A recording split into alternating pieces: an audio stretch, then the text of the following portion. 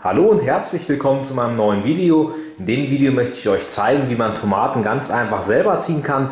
Und zwar ohne Tomatensamen oder fertige Tomatenpflanzen zu kaufen, sondern einfach nur eine ganz normale Tomate. Und aus dieser Tomate ist es möglich, sich selber Tomatenpflanzen zu ziehen, die dann auch Früchte tragen. Ich möchte euch jetzt zeigen in dem Video, wie das ganz einfach funktioniert. Ich werde die Tomate dazu jetzt in zwei Scheiben aufschneiden und diese dann einpflanzen. Ihr müsst ein bisschen aufpassen, dass ihr das so erwischt, dass ihr auch ja, eine Menge Samen mitbekommt. Hier könnt ihr das sehen, hier befinden sich die Samen in der Tomate drin. Ich schneide jetzt hier eine Scheibe raus.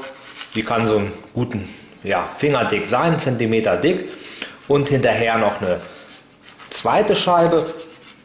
Und ähm, ja, was wir jetzt machen ist, dass wir die Samen in der Tomatenscheibe drin lassen. Das Ganze dient dann nämlich als Nährstoffe und schon als ja, Boden für die neuen Tomaten.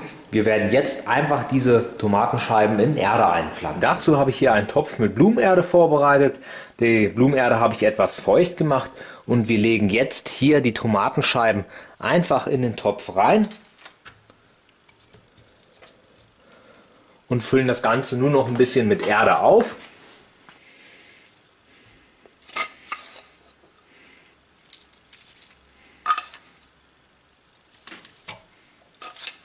So dass es einmal bedeckt ist, so dass man die Tomatenscheiben dann halt auch nicht mehr erkennen kann.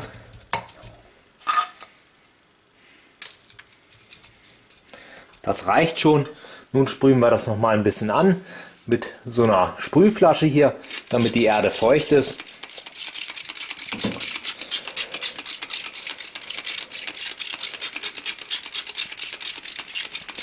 Und ich habe mir als Standort einen hellen Platz am Fenster ausgesucht, wo ich das Ganze jetzt erstmal stehen lasse. Und ich denke, so ein, zwei Wochen wird es dauern, bis die Tomatenpflanzen keimen. Ich würde sagen, wir warten die Zeit mal ab und schauen uns dann an, wie es aussieht. Ja, wie ihr sehen könnt, hat die Tomate gekeimt. Wir haben hier die ersten beiden Triebe. Einmal hier links und einmal da rechts, hier am Rand.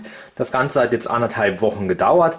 Das kommt von den zwei Scheiben Tomaten, die ich da eingepflanzt habe, einfach in der Erde.